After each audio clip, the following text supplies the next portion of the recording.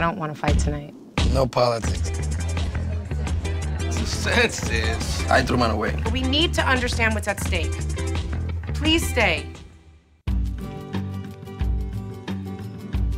Every 10 years, the United States counts every resident.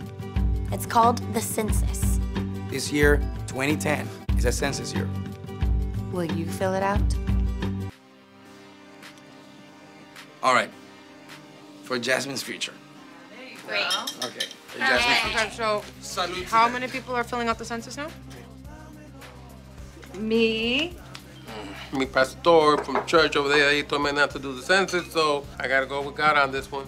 Wait, what does the pastor have to do with this? No, everybody from my church, they're boycotting this, okay? Why? He said they could count us when they legalize us. That's right, Until amen. then, if the majority doesn't want us here, then why should they get money from our numbers? Why?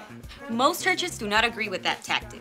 The Catholic Church, the Pentecostal, they're all fighting for people to go ahead and just fill out the forms. Not my church. Uh, congressional districts are drawn from this census data. That means we can get better representatives who actually reflect the residents in their district. Yeah, and then maybe with more representatives, we can finally do immigration reform. Yeah, I would be very wary of anyone telling you not to fill out the census because that's probably exactly what they're afraid of is mm-hmm. certain people losing their seats and other people gaining it. People who might actually make positive change that we want to see. Yes, yes, we get it. We get it. Everybody gets it, right? I mean, come on. What are we gonna do? The ice caps are melting. Uh. Half the country's got swine flu. Uh. I'd like to get this fiesta going before the Mayans blow us up in 2012, right? I mean- Are there immigration questions on the form? Like, do they ask if you're undocumented? No. No. Are you sure? Do you know that for a Yes, fact? the U.S. Census is only meant to count residents. That means whether you're a citizen or not. So if you can't vote and you can't count in the election, you count in the census. That's real power. I'm, I'm still not filling it out, I'm sorry.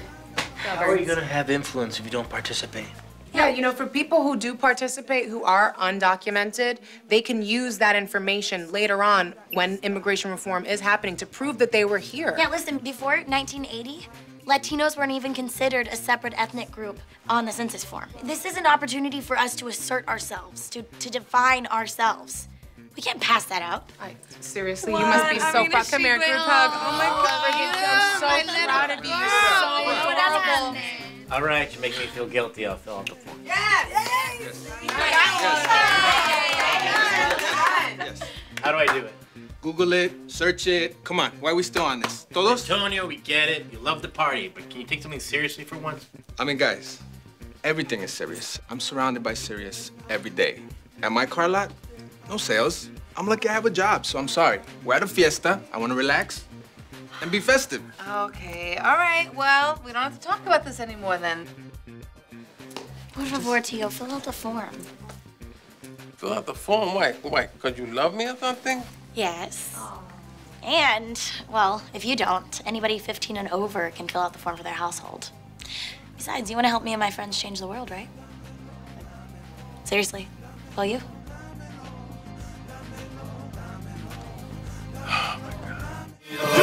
Buscando la oportunidad y americano.